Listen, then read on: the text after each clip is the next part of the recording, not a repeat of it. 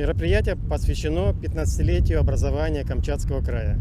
А, На данной площадке будут сейчас играть как любители. а, Мы будем проводить ма- мастер-класс для всех возрастов и всех желающих, кто хочет присоединиться. Пожалуйста, приходите, можно принять участие. На Камчатке начали мы играть, э, ну, клуб, во всяком случае, в 2003 году.